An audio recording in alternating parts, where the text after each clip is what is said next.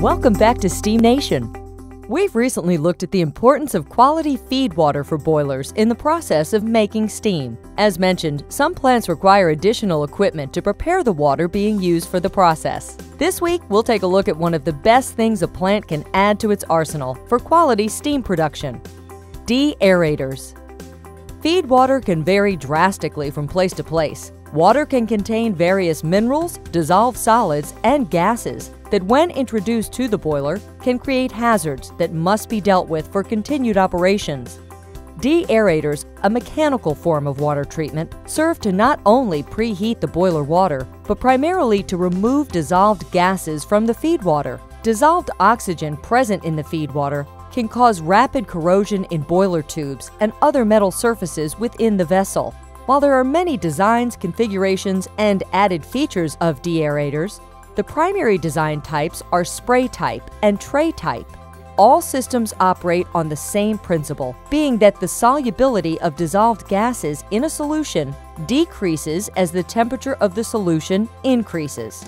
In short, introducing the feed water to a steam-laden environment forces a large majority of the dissolved gases to be released.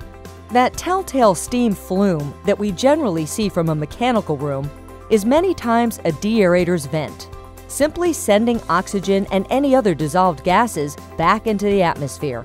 In a tray-type de-aerator, feed water is sprayed into an area of the vessel over a series of trays. Steam is simultaneously being provided under those trays. As the water falls through the perforated sections, the steam heats the feed water, and a natural scrubbing of the dissolved gases occurs.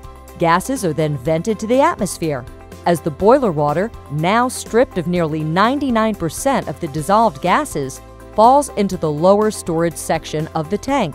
A naturally occurring steam blanket hovers above the cleaned water to protect the water from recontamination.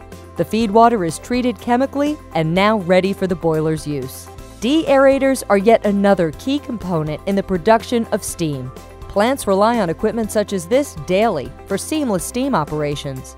Contact Power Mechanical today for more information on de-aerator rentals, sales, and services to keep your facilities at full steam. Thanks again for tuning in, and don't forget to subscribe to our channel for more videos from Steam Nation.